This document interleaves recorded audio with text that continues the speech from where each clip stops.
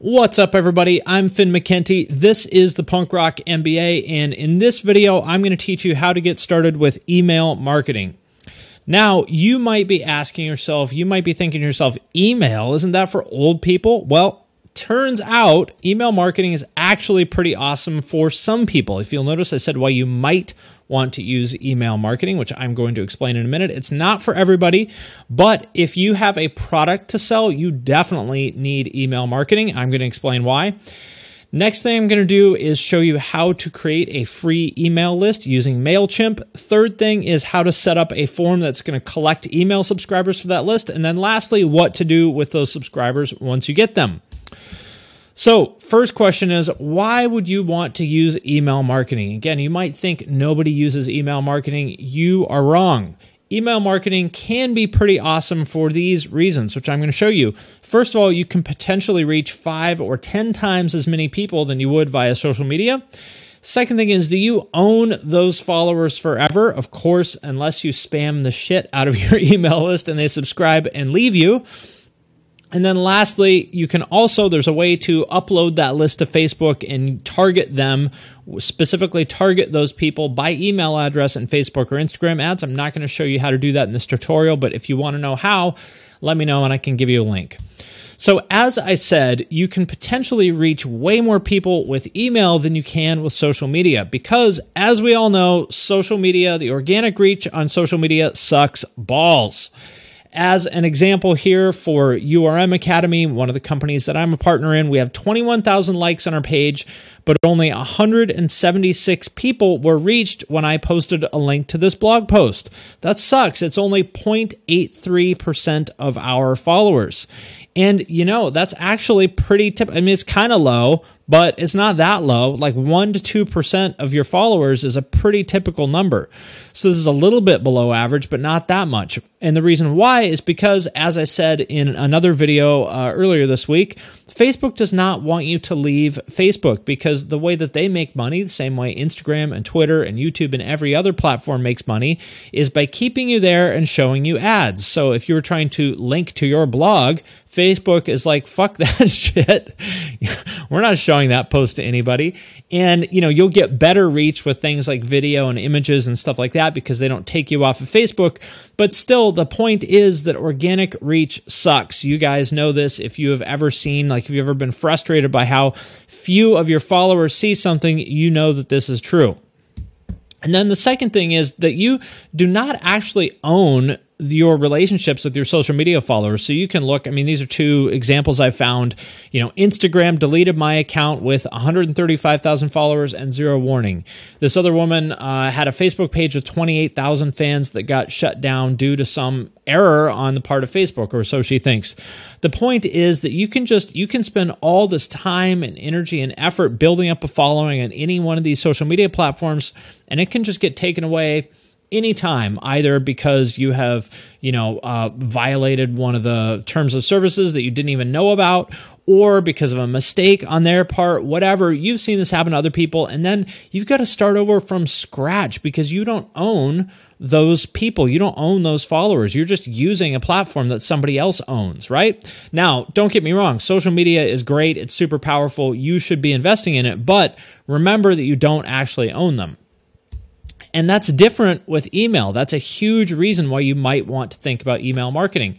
So, for example, uh, when I write a new blog post, I send an email about it. You can see that over here. So, uh, this particular one I sent to, uh, right now, I have a little over 4,000 people on the mailing list. This is from a couple months ago and I had 3,400. So I sent this to 3,400 people. And look, 20, almost 22% of people opened that email. That's the same as like reach on social media, basically. Uh, so 22% of people opened this email and read this. Uh, 2.5% of them clicked on it, which is actually not bad. It's not great, but it's not bad. Uh, and look, this is way, but so there's one way to look at it is only 22% of people opened it. Yes. But remember, compare that to, you know, this, compare that to 0.83%.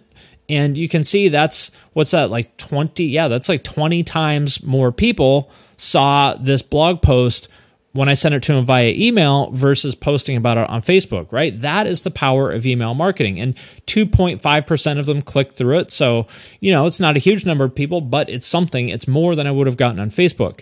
Uh, and then to the point about how you don't own your social media followers, you do own the the email addresses that you collect in uh, in in whatever software you use. So this is like my old email address. You can see this is years old when I only had 400 people on it. But it's as simple as clicking export, and then it will like export a text file of all those email addresses. So you can save those to your hard drive to back it up.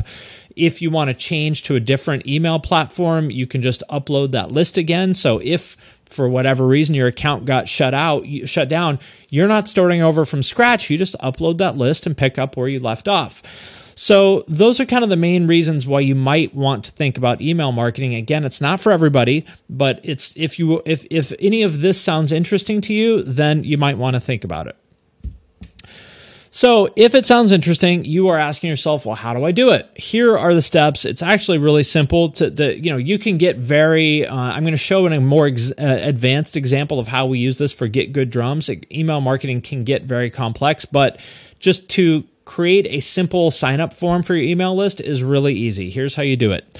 First thing is to sign up for a free MailChimp account. There's lots of other email marketing platforms out there. I actually don't even like MailChimp that much, but it's free and it's easy to use. It's very common. So that's what I would suggest. I use one called ActiveCampaign that I like better. But anyway, you sign up for that free MailChimp account. You create a new list. I suggest you enable these two options here, which I'll talk about in a little bit more detail later double opt in and GDPR that will help protect you from spam laws that apply to email marketing.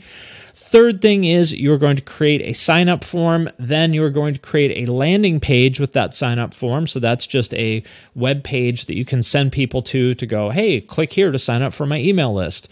And then lastly, you have to actually get them to go to that landing page and sign up for it, which uh, I'm not going to cover in too much detail because that's sort of a whole other a whole other challenge that's outside the scope of this tutorial, but then you will be ready to rock. So let's get into it. Okay, so I'm going to, well, let's, let, I already have a MailChimp account. Um, when you log in, you will see something like this. So what you want to do is first create a new list.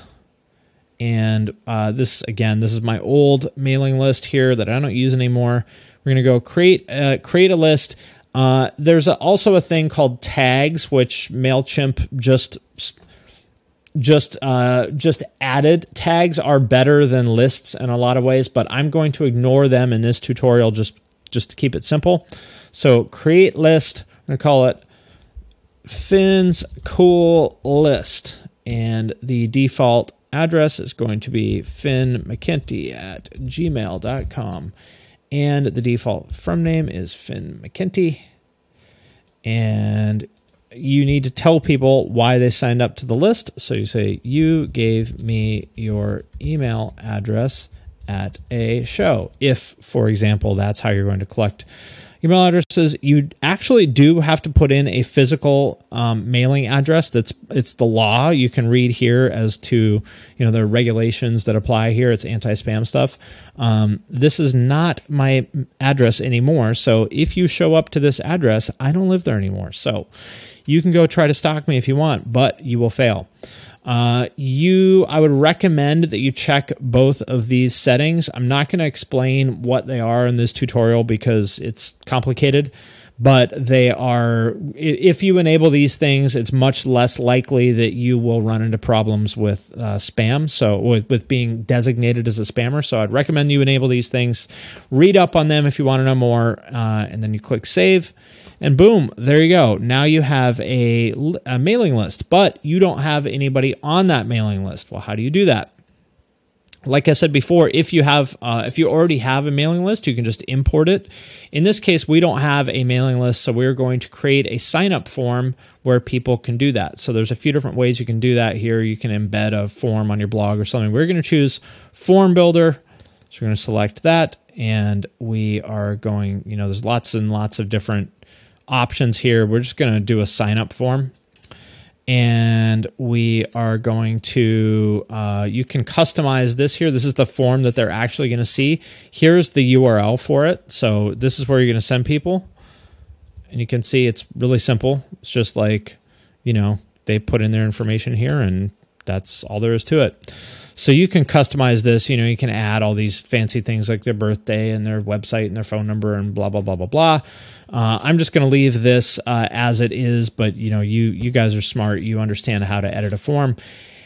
And that is all there is to it. Um, once you have that, you are done.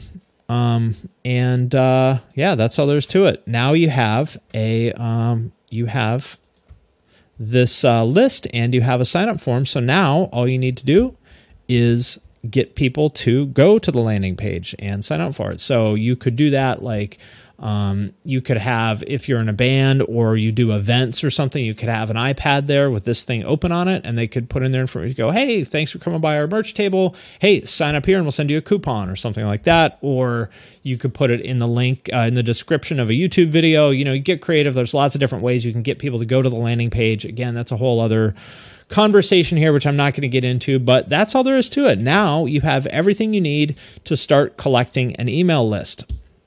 And the question is, what do you do with that list once you have it? Well, you know, you guys are on a bunch of mailing lists, I'm sure. So you get the idea. You know, you send them an update. If you have a new product, a new song, whatever it is that you do, send them an update on it. Hey guys, we just came out with a new music video. Check it out. It's right here. Um, you can, if you have a blog, you can, uh, as I showed you earlier, you can send people uh, emails notifying them uh, that you have a new blog post and hope that they read it. And of course, you can ask them to buy stuff, but like I said, you don't want to abuse this because if you send people too many sales emails, they're just going to think you're a fucking spammer. And then you'll end up with a list full of people who hate you. We don't want that. so, uh, lastly, if, if you're wondering kind of what the benchmarks are for success, these are two just ballpark numbers. Roughly speaking, if you're getting 20% of people to open your emails, you're doing good. And if 2 to 5% of people click through like you know the button at the bottom of it you're doing good. So these numbers are not like set in stone but broadly speaking um, you can use those as a guideline.